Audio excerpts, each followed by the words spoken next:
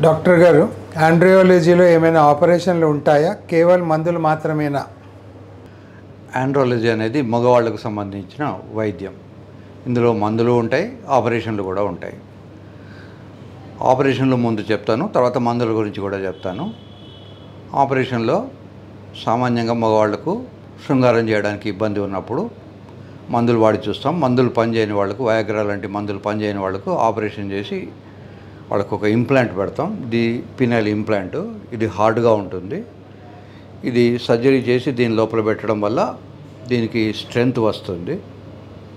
So ఇది ఎంత హార్డ్గా ఉంటుందంటే అవసరం వస్తే ఫైవ్ హండ్రెడ్ గ్రామ్స్ బరువు కూడా ఇది మోయగలదు. సో ఒకటి పెనల్ ఇంప్లాంట్ సర్జరీ. రెండోది దీ కొంతమందికి లెంత్ ఉండదు పొడవుగా ఉండదు. అలా పొడవుగా లేని వాళ్ళకు లెందనింగ్ సర్జరీ అని ఒక సర్జరీ చేస్తాం పినైల్ లెందనింగ్ సర్జరీ. మూడోది కొంతమందికి చిన్నగా దొండకాయలాగా ఉంటుంది గర్త్ ఉండదు. ఈ గర్త్ పెంచేందుకు కూడా ఒక సర్జరీ ఉంటుంది. ఇవన్నీ పినిస్ మీద చేసే సర్జరీస్. ఇవి కాకుండా కొంతమందికి పిల్లలు పుట్టడం కానీ స్పర్మ్ కౌంట్లో తేడాలు కానీ ఉంటాయి. వాళ్ళకు వెరికోసీల్ అనే ఒక సర్జరీ ఉంటుంది. వెరికోసీల్ అంటే ఏమిటి అంటే శరీరంలో ప్రతి భాగానికి ఈ ఎర్రటి గొట్టం ద్వారా రక్తం వస్తుంది. వచ్చిన రక్తం మళ్ళీ బ్లూ గొట్టం ద్వారా రివర్స్లో వెళ్తుంది. దీనికి వచ్చే రక్తం బాగానే ఉంటుంది కానీ రివర్స్లో వెళ్ళే రక్తం ఎఫిషియెంట్గా బయటికి వెళ్ళదు. ఈ టెస్టికల్స్కి ఏమిటంటే టెంపరేచర్ సెన్సిటివ్.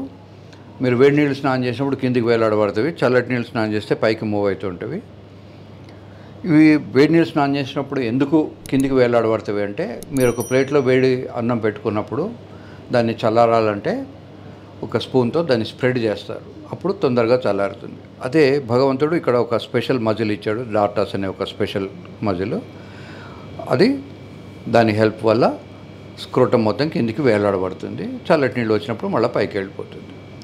ఇవి గోరువెచ్చని నీళ్ళతో స్నానం చేసినా కూడా స్పర్మ్ కౌంట్లో తేడాలు కానీ స్పర్మ్లో క్వాలిటీస్లో తేడాలు కానీ వస్తుంటాయి. ఈ వెరకోసీలు ఉన్న వాళ్ళకు ఇరవై నాలుగు గంటలు వేడి నీళ్ళల్లో పెట్టినట్టే ఉంటుంది.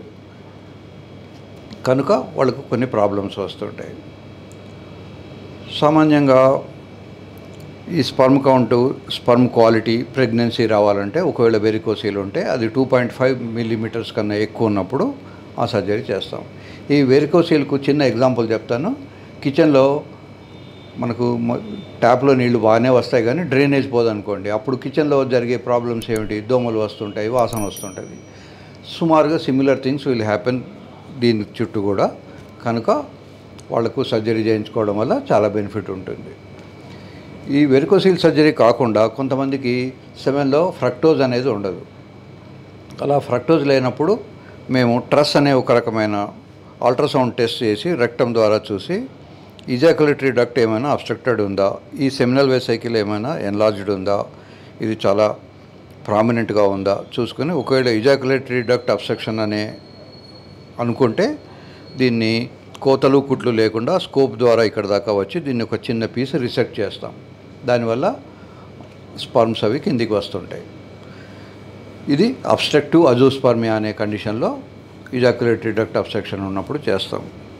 ఇది కాకుండా కొంతమంది పిల్లలు కాకుండా మగపిల్లలు ఆపరేషన్ చేయించుకుంటారు. అది కూడా అబ్స్ట్రక్టివ్ అజోస్పర్మియానే. ఈ వ్యాస్ని ఇక్కడ వెళ్ళి ముడి చేస్తారు. అప్పుడు మనం ఏం చేస్తామంటే మళ్ళీ పిల్లలు కావాలనుకున్నప్పుడు ఈ వేస ఈ ముక్కను ఈ ముక్కను కలిసి తీసుకొచ్చి మళ్ళీ జాయింట్ చేస్తాం. దాన్ని వేసవ వేసాష్టమి అంటాం. ఇవి కాకుండా మనకి కొన్ని సర్జరీస్ ఉంటాయి. ఫర్ ఎగ్జాంపుల్ దీని చుట్టూ నీరు రావడము లావుగా ఉండడం దాన్ని హైడ్రోసీల్ అంటారు. హైడ్రోసీల్ వేరు వెరికోసీల్ వేరు. ఇట్లాంటి సర్జరీలన్నింటినీ మనం చేస్తూ ఉంటాం. ఇప్పుడు మందుల గురించి చెప్తాను. మందుల్లో వయాగ్రా అనేది మీ అందరికీ తెలిసిన సబ్జెక్టే. ఈ వయాగ్రా కాకుండా టెడలాఫిల్ అని వార్డనాఫిల్ అని అవనాఫిల్ అని రకరకాల ట్యాబ్లెట్స్ ఉన్నాయి. ఈ ట్యాబ్లెట్స్ ఏం చేస్తాయంటే ఈ అంగానికి సప్లై చేసే ఎర్రటి గొట్టం వన్ మిల్లీమీటర్ డయామీటర్ మాత్రమే ఉంటుంది. ఈ ట్యాబ్లెట్ ఇక్కడికి వెళ్ళినప్పుడు ఈ వన్ మిల్లీమీటర్ డయామీటర్ను కొంచెం వెడల్పు ఎక్కువ చేస్తుంది. అప్పుడు ఎక్కువ రక్తం రావడం వల్ల దీనికి గట్టిదనం వస్తుంది. ఎంత గట్టిదనం రావాలి? ఇందాక నేను చెప్పినట్టు ఫైవ్ హండ్రెడ్ గ్రామ్స్ అవసరం వస్తే దాన్ని మోయగలిగేంత శక్తి ఉన్న గట్టిదనం రావాల్సి ఉంటుంది. ఈ పినైల్ లెంథనింగ్కు సర్జరీలే కాకుండా ట్రాక్షన్ మెథడ్ అనే ఒక మెథడ్ ఒక మెథడాలజీ ఉంటుంది. దీంట్లో మనం ఏం చేస్తామంటే ఈ పినైల్ ట్రాక్షన్కు ఈ మెషిన్ పెట్టేసి మెషిన్ ద్వారా దీన్ని లాగుతూ ఉంటాం. అలా లాగినప్పుడు అది లెంత్ పెరిగే అవకాశం ఉంటుంది. ఎవరికి సర్జరీ చేస్తామంటే వ్యాగ్రా ఇచ్చిన పనిచేయని వాళ్ళకి కానీ లేదా వయాగ్రా లాంటి ట్యాబ్లెట్స్ ఇచ్చినప్పుడు విపరీతంగా తలనొప్పి రావడము బ్యాక్ ఏక్ రావడము సైడ్ ఎఫెక్ట్స్ ఓర్చుకోలేనంతగా ఉండడము వాళ్ళకు సర్జరీ అవసరం పడుతుంది. ఈ వయాగ్రాకు టెడల టెడలాఫిల్కు అవెనాఫిల్కు తేడాలు ఏమిటి అంటే వయాగ్రా అనేది సిల్డెనాఫిల్ అనే పేరు ఫార్మకలాజికల్గా ఇది ఫిఫ్టీ టు హండ్రెడ్ గ్రామ్స్ ఇవ్వాల్సి వస్తుంది హండ్రెడ్ మిల్లీగ్రామ్స్ ఇవ్వాల్సి వస్తుంది. ఈ ఫిఫ్టీ టు హండ్రెడ్ మిల్లీగ్రామ్స్ ఇచ్చినప్పుడు నేను ఇందాక చెప్పినట్టు ఆ చిన్న ఆర్టరీ డైలెట్ అయ్యి ఎక్కువ రక్తం వస్తుంటుంది అన్ఫార్చునేట్లీ ఆ ట్యాబ్లెట్కు తెలియదు. ఇక్కడే పని చేయాలని అది తలకు వెళ్ళి అక్కడ కూడా చేస్తుంది. అప్పుడు తలనొప్పి వస్తూ ఉంటుంది. లేదా కొంతమందికి కడుపులో నాశ్యత తిప్పడం లాంటివి రావచ్చు. టడలాఫిల్ అనేది హనీమూన్ పిల్ అంటాం. యూజువల్గా అది థర్టీ సిక్స్ అవర్స్ ఉంటుంది. ఈ ఇందాక చెప్పిన సిల్డెనాఫిల్ లేదా Viagra eight to twelve hours ఉంటుంది.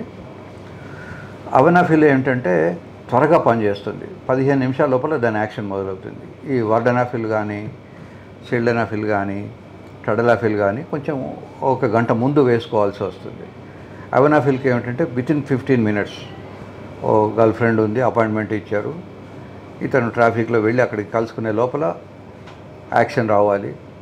సో అన్ప్లాన్డ్ సెక్స్ ఉన్నప్పుడు త్వరగా చేయాలనుకున్నప్పుడు అవనాఫిల్ కూడా వాడుకోవచ్చు.